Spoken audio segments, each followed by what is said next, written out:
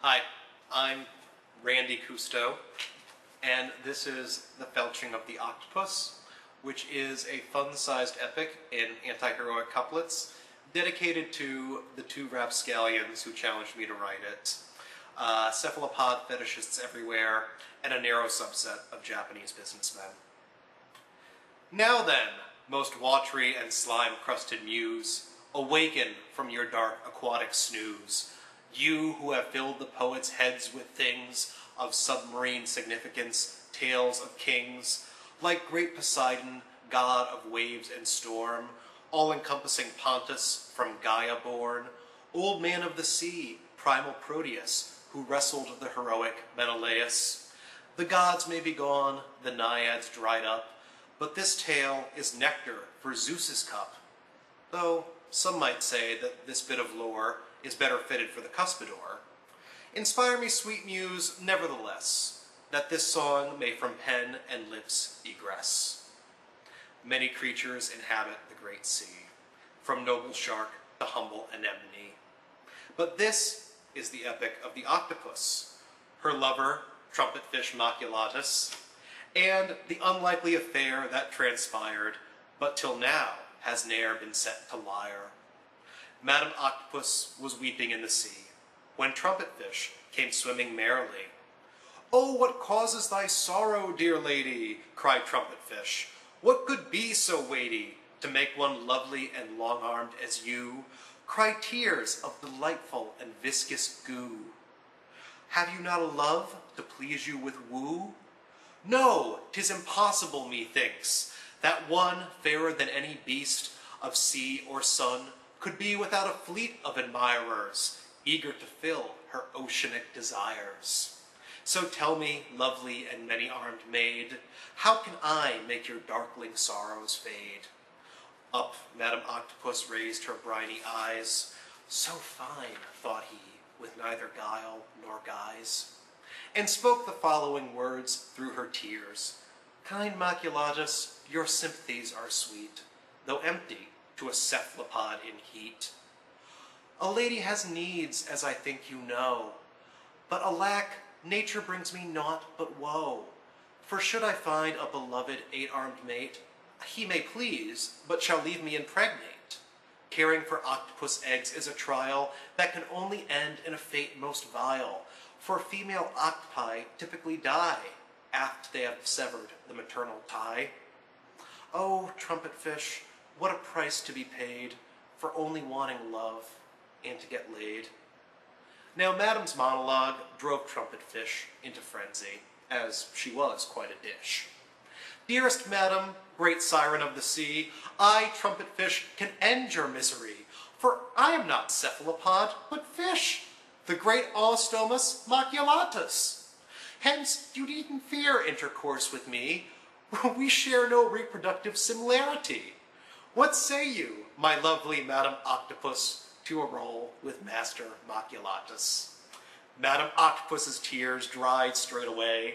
Oh, how long have I waited for this day, she cried with writhing passionate mirth, to make love without fear of giving birth Please take me, sweet Savior, and do it quick. Don't make me beg for your salty fish stick. Trumpet Fish did not need to be told twice, making it with an octopus, but hot spice.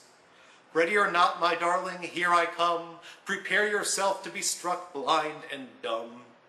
Madam spread her tentacles nice and wide, eager to embrace this shift in fortune's tide. Trumpetfish, ever randy and limber, leered and drew forth his stiff, fishy member. Then, in the midst of erotic madness, Maculatus made this shocking bequest. O octopus, I'll grant you my very soul, if you let me penetrate your ink hole. With a blush and nod, Madam consented, and showed her abyss from which ink vented. Her lover inserted his brackish prick in the oozy place. Some might find it sick, but not that kinky creature, Trumpetfish. He found the ink hole to be quite delish. Warm and succulent, smooth, greasy, and deep, he specially loved the way loose ink would seep and lugurbate his aggravated dong, which had long ago grown quite stiff and long. But what of Madam? She felt none at all, for, by octopus standards, he was quite small. So, unthinkingly, she committed sin by asking the worst question Is it in? Luckily, Maculatus did not hear her as he plundered that spot which grows no fur. Afore long he shouted, By Poseidon, madam, here I come! There, there, I am done.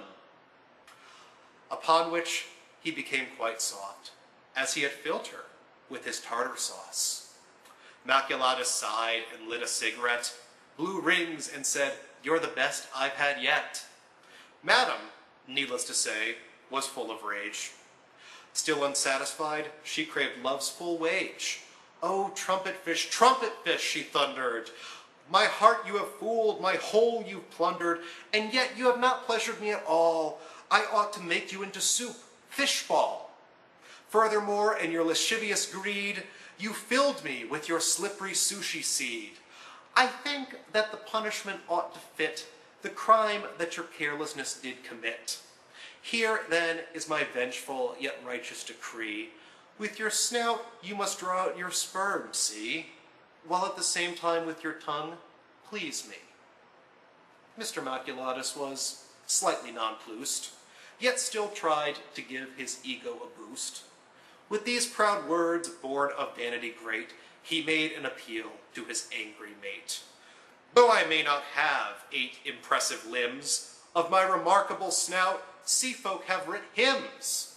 Though I may not boast an impressive hose, I please ladies with only lips and nose. Of my sincerity, dear, do not doubt. Oh, madam, I would love to eat you out. The sensual cephalopod grinned wide, again offered her inkhole for a ride. The trumpet fish went to work right away, pressed his mighty lips to her murky bay, and heroically began to repay his amorous debt, drawing out his seed, sparkling, salty, and white, bead by bead. The octopus strength straddled his lengthy muzzle, squeezed it tight so her insides he nuzzled. Oh, what a mighty, manly proboscis, she cried, tickle me with its low, slow kiss. Madam squirmed in aquatic ecstasy as the fish ate her oily ink pussy. Heart of fire, her passion could not be quenched. Such is the pleasure of being well felched. Shortly her bowels started to rumble, tickled to madness by the fish humbled. His skillful, scratchy tongue wrought forth from her a mighty, momentous octopus purr. With a piercing shriek, she evacuated a blackish cloud. The octopus was sated. Trumpet Fish knew that his job was well done now that he was smothered in octopus stuff. Oh, trumpet fish, trumpet fish, what to do with what remains love's inky residue? Never mind, our lovers are quite content. Who cares if their methods seem a bit bent? So gods, sea folk, and men, bless them alike. Mermaids, sharks, dolphins, tuna fish, and pike. Remember this inspired tale of love that transpired in the sea's coral cove. Tell it, whether in ocean, reed, or rush, our epic, the felching of the octopus.